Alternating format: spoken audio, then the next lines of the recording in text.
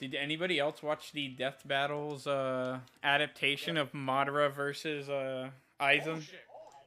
Yeah. No, I didn't it. I'm gonna watch it though. Yeah, yeah. That, that battle kind of biased. I don't be watching them. Uh, it was kind of weird.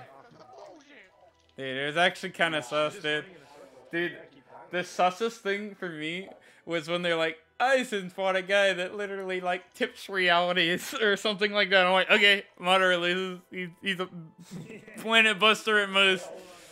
I was like, he's planet buster. I like, I, I can like Naruto as much as more than Bleach all I want. If you tell me there's like a reality warper guy or whatever the fuck, uh, that guy wins. That guy loses. Oh well. I'm not saying because somebody said they still